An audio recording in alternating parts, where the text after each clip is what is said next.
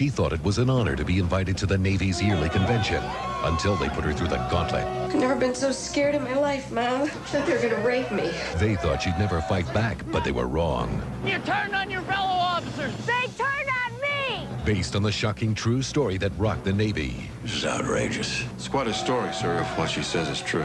NYPD Blue's Gail O'Grady, Hal Holbrook, Rip Torn, and Robert Urich star. She stood alone. The Tailhook Scandal.